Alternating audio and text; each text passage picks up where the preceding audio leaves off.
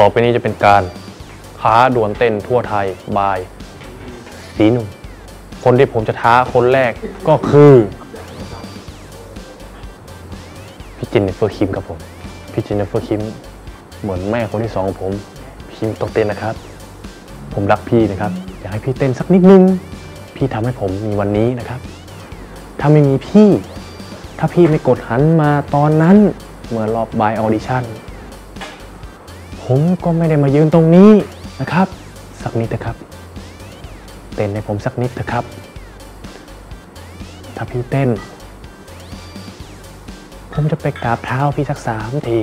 นะครับ อย่าด่าผมนะครับขอบคุณมากครับพี่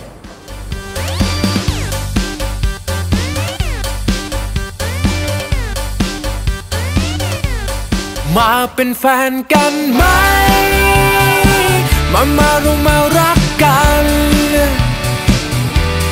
very สบาย เป็นคนง่ายๆ ดูเราเข้ากัน ลองเป็นแฟนกันไหม จะรักเธอมากกว่าใครทั้งนั้น step มา มาเข้ามา เต้นกัน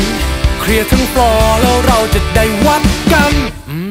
เป็นแฟนกับฉันสบายใจ